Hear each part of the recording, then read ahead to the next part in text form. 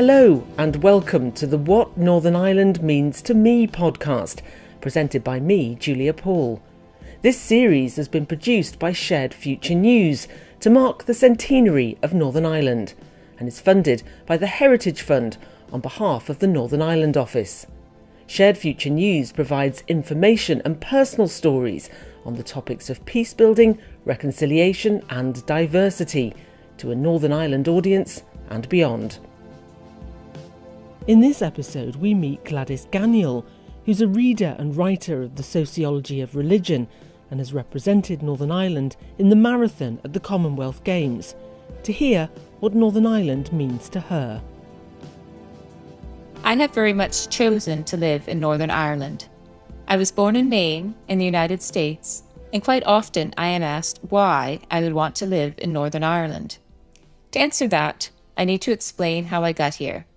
In 1998, I was an undergraduate student at Providence College in Rhode Island. I was on the athletics team, running cross country and 10,000 meters on the track. My coach was Irish, so a number of Irish and English athletes had come to Providence to run on the team. One evening at dinner, an English athlete was slagging the Irish runners, in a good natured way, I must add, saying that the World Cross Country Championships would be held in Belfast the next year, and he was looking forward to it being on home soil. Another English athlete piped up to say that the problems in Northern Ireland were all about religion. I had been raised in an evangelical Protestant culture, and for me, religion had been a positive part of my life. So I was intrigued by the view that religion had been the problem in Northern Ireland.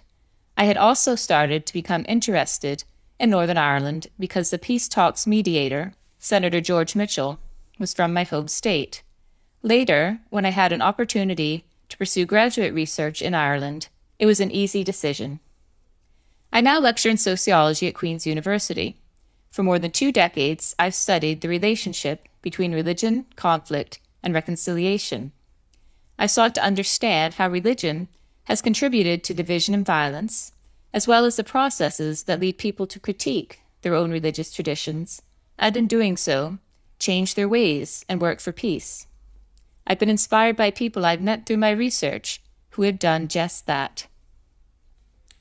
Since moving to Northern Ireland, I've also gotten tremendous support from people involved in athletics. In 2014, I ran the marathon for Northern Ireland at the Commonwealth Games in Glasgow. I wouldn't have made it to the Games without the efforts of my coach, my training partners, physio, and my club.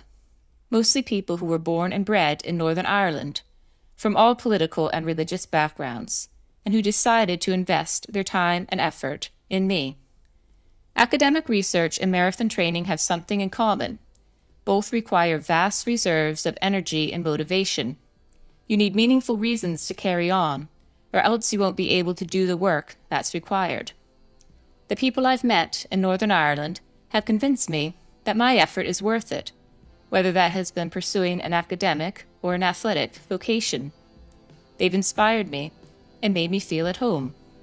Our people are the reasons that this place has a future, a future with hope.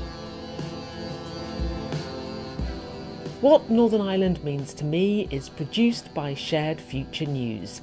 Our staff include Alan Leonard, Alan Maben, and Julia Paul. Our theme song is Figure in the Fog by Jordan McMurray, with thanks to Music Paths. This and other episodes with transcripts are available at the Shared Future News website, sharedfuture.news. You can also follow us on Facebook at Shared Future News and Twitter at Shared Future. If you would like to suggest someone for a future episode of What Northern Ireland Means to Me, please email us at editor at sharedfuture.news. Thanks for listening.